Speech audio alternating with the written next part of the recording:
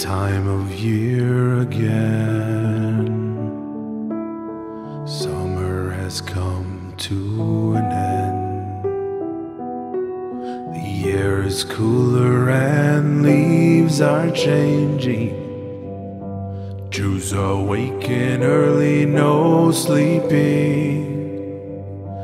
And in shuls all across the world the sound is clear. It's the sound of the shofar. And each one is not alone. Its voice is heard across the globe. Rosh Chodesh Elul till it's Yom Kippur.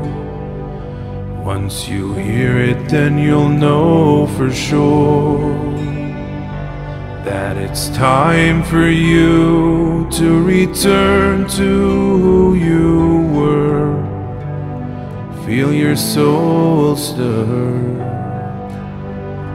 from the sound of the shofar. And as we all gather around listen to that thunderous sound, we all stand without speaking. We all stand there listening, and we yearn to remain close to Hashem this year again. From the sound of the shofar, and on Rosh Hashanah day as we stand in the zone and pray.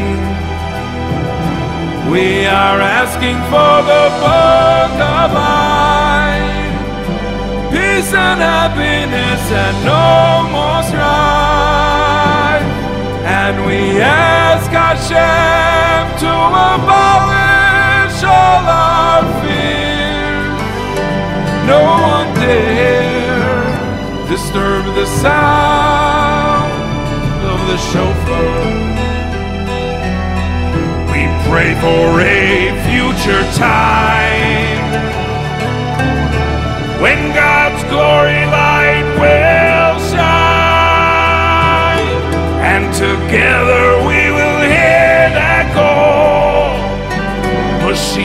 coming to redeem us all